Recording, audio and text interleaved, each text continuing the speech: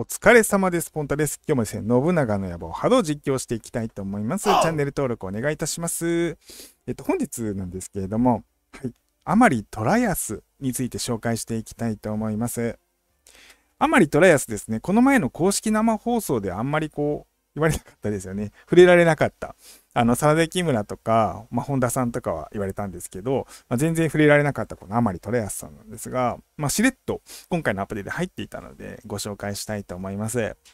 で、割とですね、この、交渉というか、あの、ガチャの中に入ってたりするので、あれこいつなんだみたいな感じである方いるんじゃないかなとは思いますね。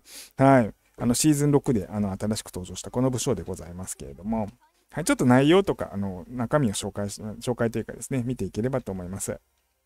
で、まあ、先方から見ていきますかね。対象を含む敵3部隊に武勇200%の攻撃し、混乱同様付与と。同様結構使えるんですよね。柴田勝家も持ってますけど、先方が発動しなくなるというところで、まあ、このゲーム、あの必殺技のであるとこの先方が非常に強力なので、それが発動しなくなるというのはなかなか渋く強いんじゃないかなと思います。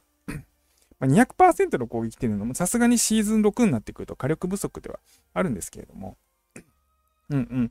まあ、なんでこんな武将が出てきたのかなというところもあの考えていきたいんですが、で技能のとこがですね、騎馬 S なんですよね。騎馬 S の武勇系になります。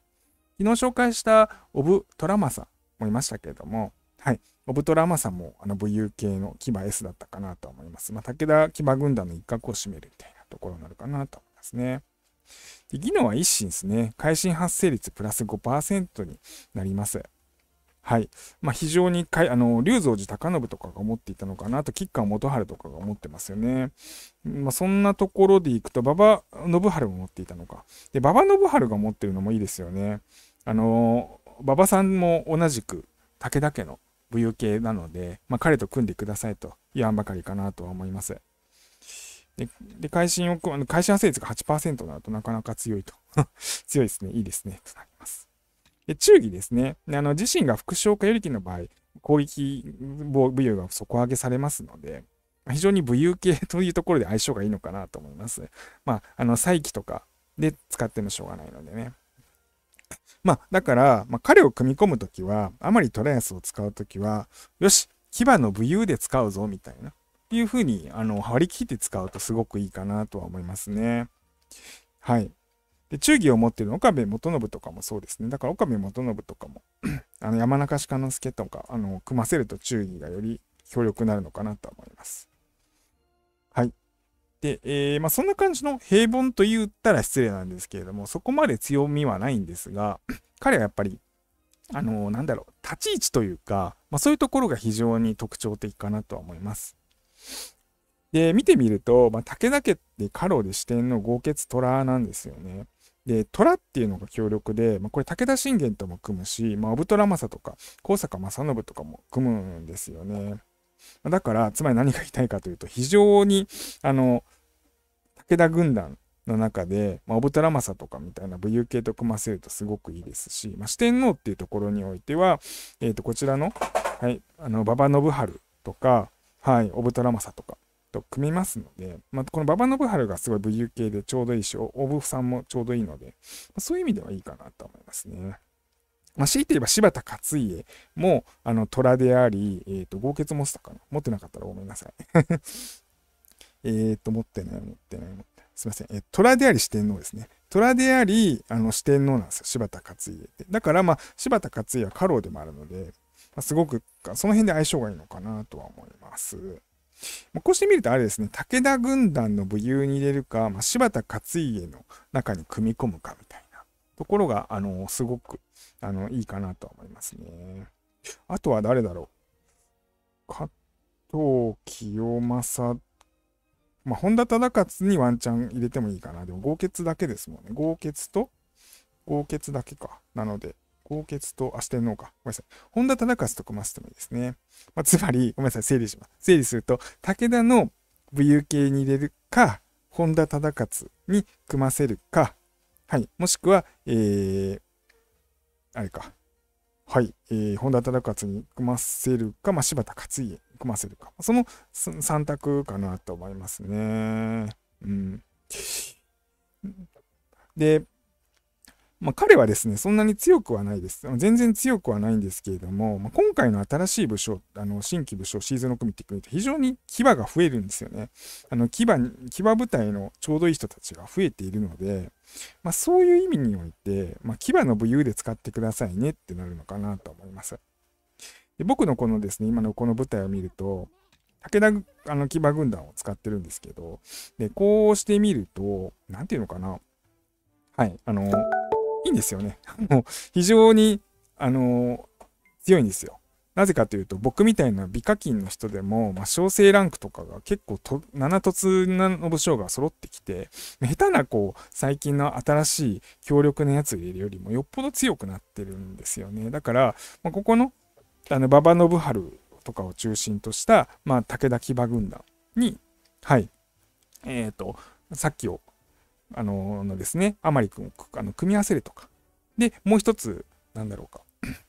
えっ、ー、と、サラデキ村の騎馬部隊を作った時に、やっぱり、あの、武将が足りないなみたいななってきて、あっちにこう、赤備えの武将を取られてるじゃないですか。今ここ赤備え使って、サラデキ村を入れたら、そこの下に赤備えの武将をどんどん入れてた時に、いいな、大政とかね。そしたらちょっと武将が、あの、一人一人二人足りなくなるので、まあ、そこのとこにスポッとはまるのかなと思います。で、新シーズンになってきて、まあ、こちらのですね、はい、騎馬部隊があるじゃないですか。